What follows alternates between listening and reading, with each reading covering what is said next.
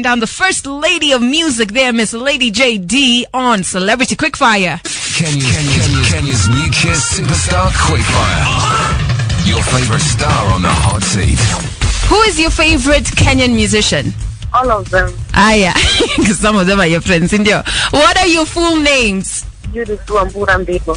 Is Lady Jaydee taken or single? I don't want to talk about it. What color underwear are you wearing now? Wait, At what age did you lose your virginity?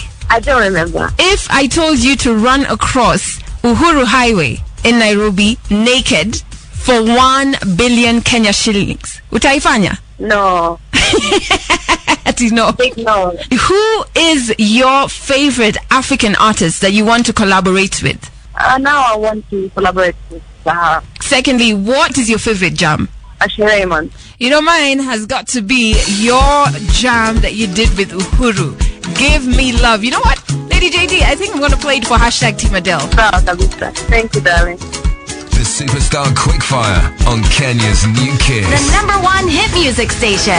Nimekusubiri mpenzi